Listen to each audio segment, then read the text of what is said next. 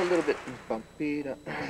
Oh, softer and then. Bill, we went to school at Yale together, so it's been a continual friendship uh, born of that that beginning um, together as woodwind uh, majors and uh, sort of lifelong buddies.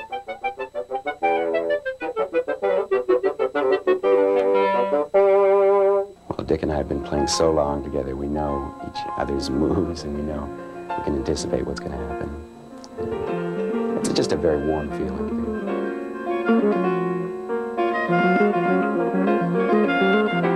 Eddie is a more recent friend. Well, he was already a legend as far as I was concerned, and uh, I was so nervous about playing jazz with him. knowing Dick that he sort of he he he has a he's a a darn good improviser, and uh, he he wants us to take some chances, and he wants me to take some chances and, and just kind of play and be um, be as musical as possible. This year, Eddie Gomez, who is from Puerto Rico, was called back to be honored as Jazz Musician of the Year there. And uh,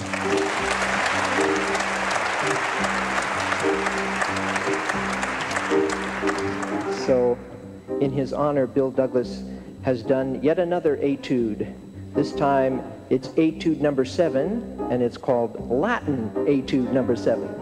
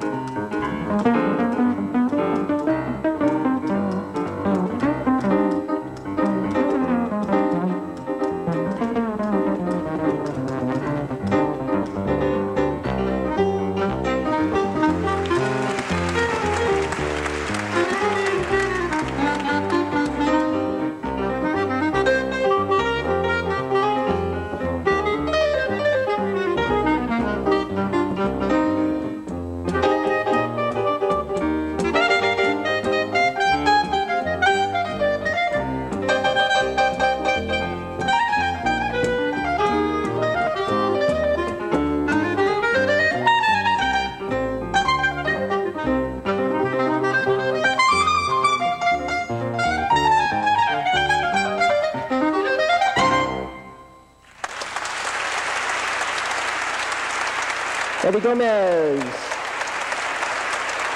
And Bill Douglas. Bill has worked a lot um, with students, and he's the director of music at the Naropa Institute in Boulder, Colorado. And so he's used his classical training and his jazz ear to create studies which are um, really of the moment, of this century, and very much fun to learn. He calls them rock etudes instead of rhythmic studies. And I've been diligently trying to study one of these. So we're going to try to do this in unison. And uh, listen closely because at intermission there's going to be an exam. this is rock etude number 19. Even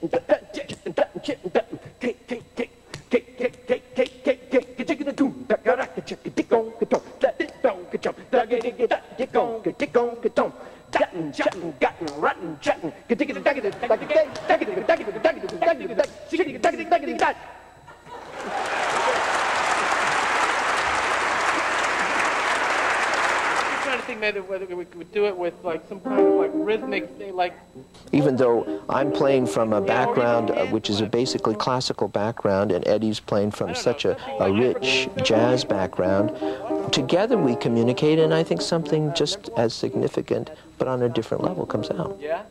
And Bill got his jacket stolen? I bought uh, some maracas there. Uh, the last one Tasha was there a couple of weeks It's different for me because I'm coming from the jazz world, really, and so I get a chance to, to play some Bach and play um, play a lot of different kinds of pieces.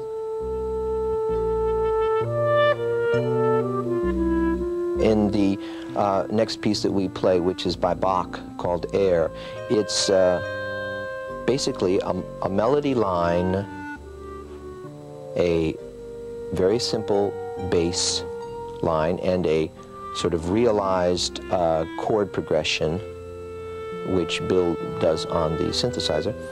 But the melodic line, I, I almost always embellish in one way or another, and I don't play all the notes as they are written on the page, and I don't think probably Bach did either.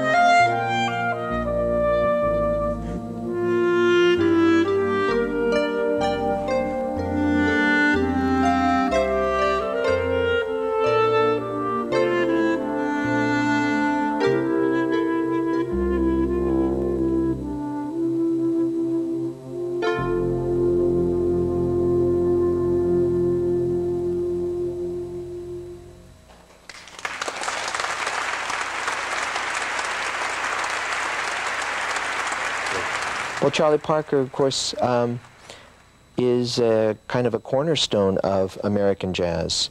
He uh, epitomized the bebop style of playing, I think, and his uh, virtuosity as a musician has also a reflection in the compositions that he created.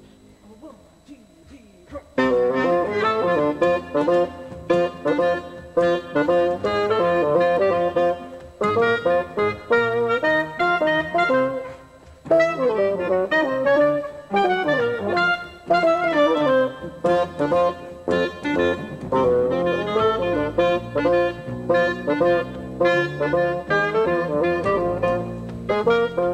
you.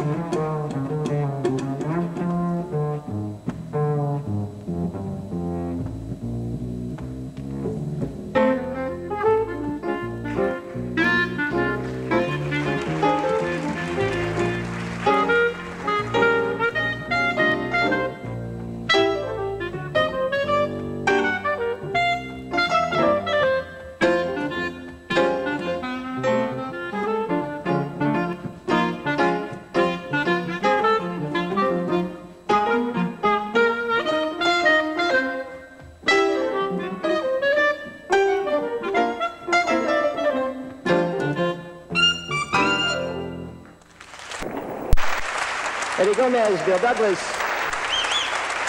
Charlie Parker. Ramblin' is a funky tune.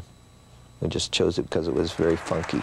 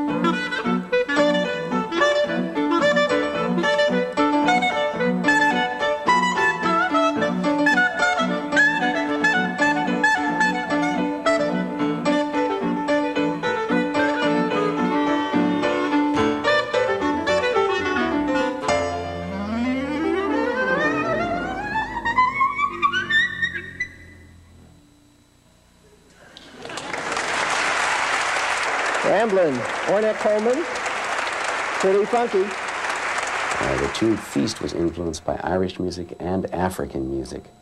So it's kind of an Irish-African jig. And the two of them are not that far apart, actually, Irish music and African music. Both of them use triplet rhythms, so that jig quality.